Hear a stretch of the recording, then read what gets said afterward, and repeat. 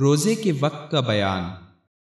عن سهل بن سعد رضي الله عنه قال انزلت وكلوا واشربوا حتى يتبين لكم الخيط الابيض من الخيط الاسود ولم ينزل من الفجر.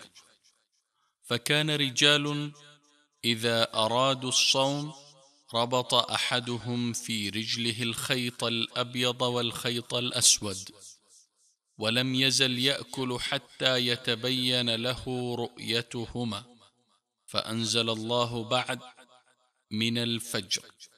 فعلموا أنه إنما يعني الليل والنهار.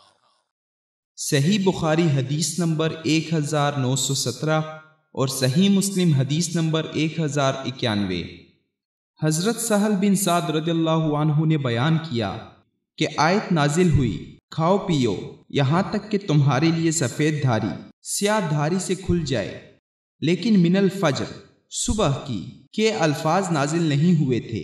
इस पर कुछ लोगों ने यह किया कि जब रोज़े का इरादा होता तो स्याह और सफ़ेद धागा लेकर پاؤں میں باندھ لیتے اور جب تک دونوں دھاگے پوری طرح دکھائی نہ دینے لگتے، کھانا پینا بند نہ کرتے تھے اس پر اللہ تعالیٰ نے من الفجر کے الفاظ نازل فرمائے۔